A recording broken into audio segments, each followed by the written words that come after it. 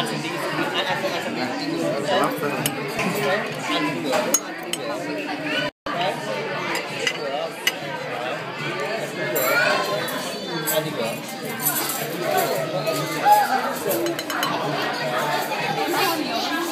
Ngày Saturday à, các cháu mời cả nhà đi tổ chức cho bố mẹ đi ăn nhân dịp ngày Saturday. Ăn ở trên tiệm seafood ở trên downtown.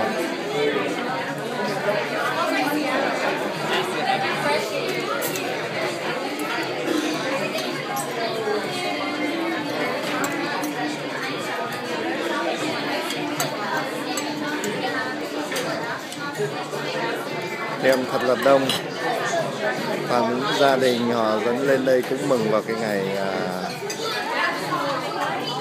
ngày của cha ngày của bố mau gần biên hàng ăn món steak còn à, uh, hôm thì ăn món uh, lobster. Có oyster có shrimp rồi có uh, scallop có crab món tổng hợp seafood.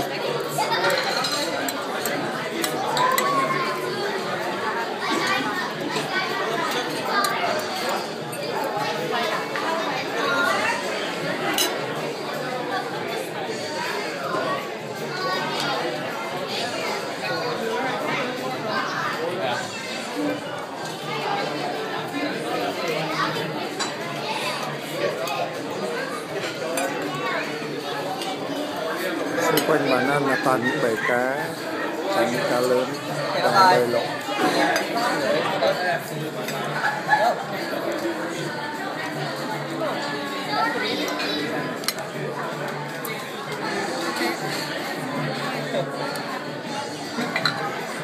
đây miếng mì đây khoai phố